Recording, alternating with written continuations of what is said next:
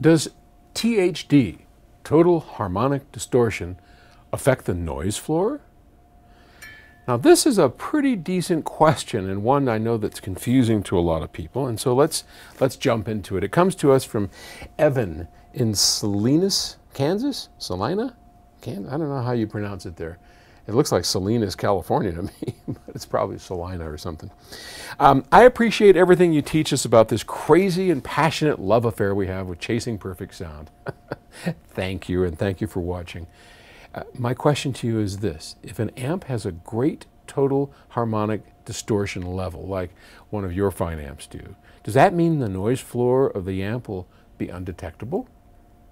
I bought a headphone amp with a THD of 0.0004 and there's no hissing in the background. Even when using my sensitive HD 800s, nothing. When I switch back to my vintage receiver with a THD of 0.5, half a percent, the hissing is noticeably there. Also, what are your thoughts on cassettes? Would PS Audio ever get on the wagon of making cassette decks? Which is interesting. Oh, if, if you're wondering what this is, this is a classic 250. Isn't this a beautiful piece?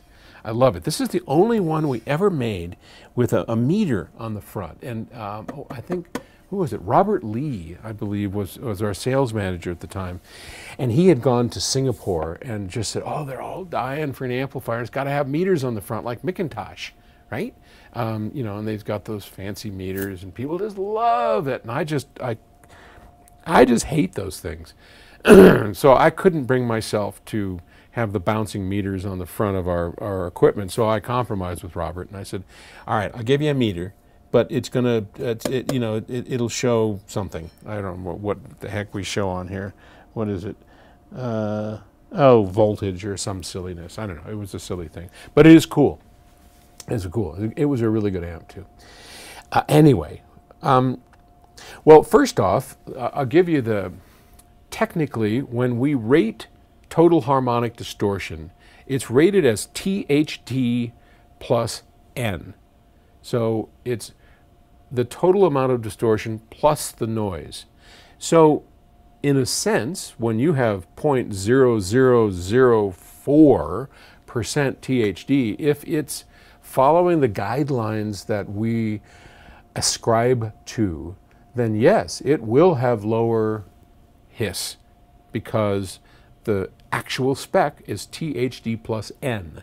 So when you're looking at specs, look for that spec. If it just says THD, then maybe not.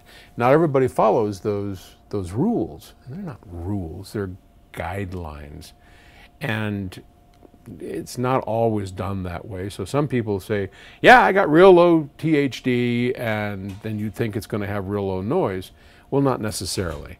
So you just need to pay attention to what the specifications are actually showing and go from there. The, the, the second point I wanted to make is that THD and noise are unrelated. So transient or, or, or, total harmonic distortion, which is what THD stands for, is measured with a pure sine wave. So we put a pure sine wave into, like this amplifier, we'll put a pure sine wave into the amplifier, and then we'll look at the output and compare the output product, which is supposedly a larger copy of the input, and see what's changed. Anything that's changed would be in the form of added harmonics, and those harmonics, eh, because remember a square wave, a, a sine wave has no harmonics. The, the sine waves are just a pure tone. So let's say we put a thousand cycle tone in here. We put a pure tone in, we should get a pure tone out. And when you see 0.0004% THD, well, it's not pure. It's really is pure, but I mean, technically speaking, there's, you know, 0.0004 ten thousandths of a percent or whatever the hell that is uh, of, of harmonic distortion. Nothing to do with noise. But when we measure it, we measure the two together. So they are unrelated, but in the way that we present the data, they are therefore related.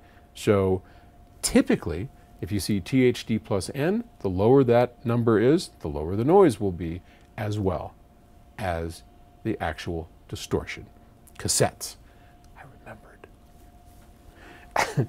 My son Scott had this crazy idea. He said, cassettes are so cool, you know, like mixtapes. You can just hand it to somebody. It's not on a reel.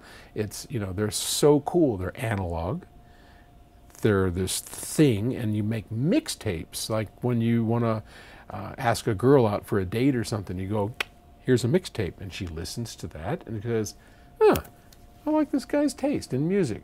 So Scott was all excited about it because cassette tapes generally don't sound very good and and they, you know, they, they were never great, but today we could we could probably make them great. And Scott wanted to actually make high-end cassettes, you know, that were really fancy, like $40 cassettes or something, $50 cassettes that were well built, strong, you know, and, and great sounding, but we never did anything about it. Would we consider it? Oh, sure. Uh, we're just crazy enough to consider anything. but I'll leave that to Scott. All right, thank you for the question, and I'll uh, talk to you tomorrow. Okay, bye.